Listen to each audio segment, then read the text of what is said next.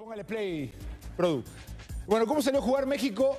Ya lo dijimos varias veces, pero aquí lo mostramos, ¿no? Qué gráfico, Línea ¿no? de cuatro. Qué gráfico, Tres ¿no? Mediocampistas. 4-3-3, Sí, sí, marcadísimo. 4-3-3, muy marcado. Sí. Eh, con Romo como mediocampista central, con dos interiores. Me encantó que pusiera a Chávez y a, y a Eric Sánchez porque ya se entienden perfectamente desde Pachuca y eso es importantísimo, ¿no? Cuando hay poco tiempo de trabajo. Bueno, la orientación de la acción siempre para presionar.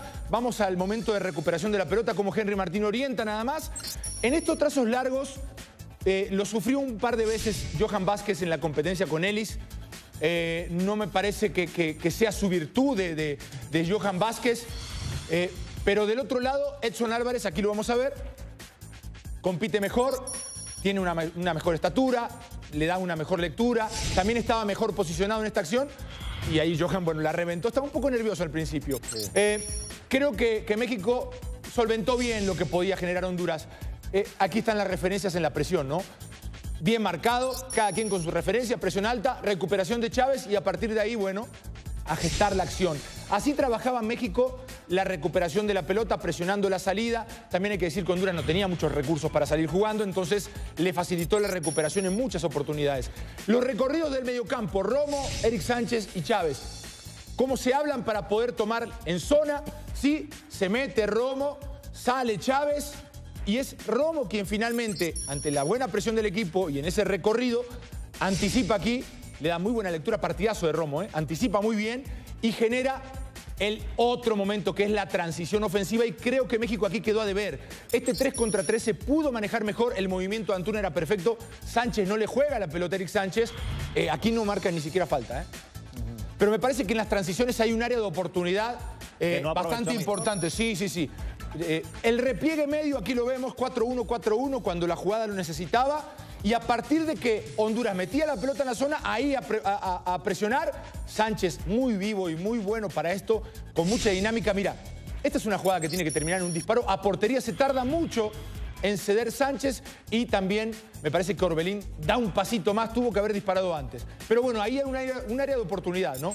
Eh, Henry saliéndose de la zona y cuando se sale Henry de la zona, primero, Chávez jugó mucho más adelantado y siempre llegaba un mediocampista interior, en este caso Eric Sánchez, con el extremo del lado opuesto y ocho hombres en el último tercio del campo. Miren, ocho futbolistas mexicanos Tres quedaron, o sea, dos más el portero quedaron en zona defensiva. Un equipo volcado al ataque que pues es lo que nos gusta, ¿no? A muchos, pero hay que saberlo hacer, ¿sí? Eh, Orbelín Pineda partiendo desde la izquierda, pero con mucha libertad para poder meterse a los carriles centrales.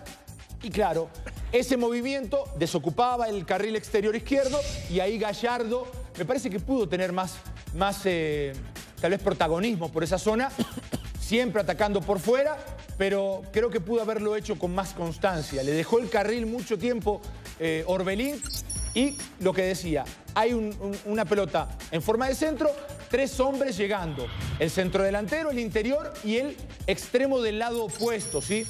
Eh, me gustó lo que hicieron Sánchez y Antuna en, en- en un tándem bastante interesante. Uno pasando por fuera, el otro pues aprovechando la velocidad, en este caso Antuna. Pero la pasada de Sánchez ahora por fuera le permite jugar esa pelota y que venga al centro. Y otra vez, cargando el área, ataca por la banda y el otro sector se carga completamente sobre el área para llegar a rematar. Se le escapa a Chávez ahí la posibilidad y veíamos cómo llegaban otra vez el interior a cerrar esa pinza. La salida siempre, ya estando en posesión de la pelota, siempre al ras del piso, buena movilidad de los mediocampistas para generar los espacios, uno va, el otro viene, aquí la pelota termina en el sector opuesto y vamos a ver a Jorge Sánchez.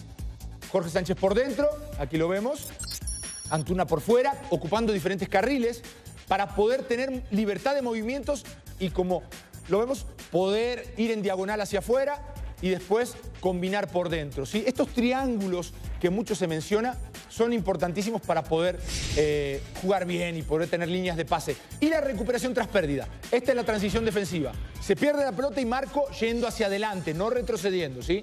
Lo hizo en un par de oportunidades. Pero aquí se pierde la pelota, otra vez la transición defensiva.